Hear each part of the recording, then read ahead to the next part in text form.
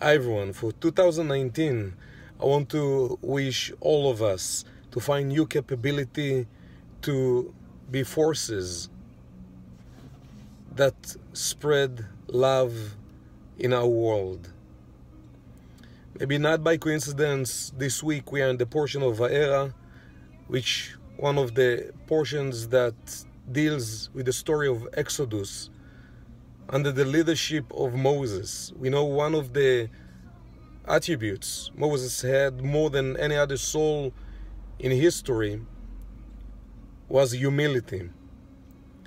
We learn humility is simply knowing that there is a divine plan for you. Doesn't matter what you feel or you think is the best thing for you, the best direction for you. When you know and you open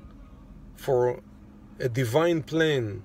to guide you, to be revealed to you,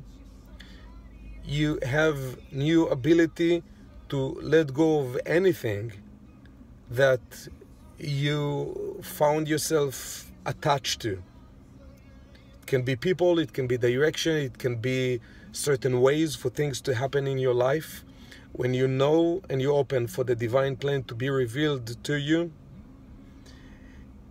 it gives you new abilities to overcome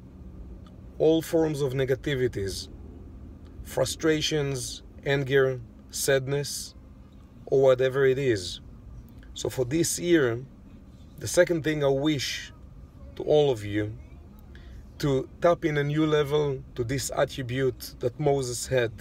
the attribute of humility, that will give you the capability to be open and something in you will know when things happen not exactly according to your expectations or wishes or desires, there is a divine plan that this plan will guide you to the best destinations in the fastest ways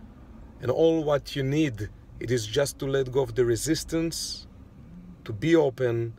and let this energy to enter and to take you into those most powerful and beautiful places in life and especially for this coming year.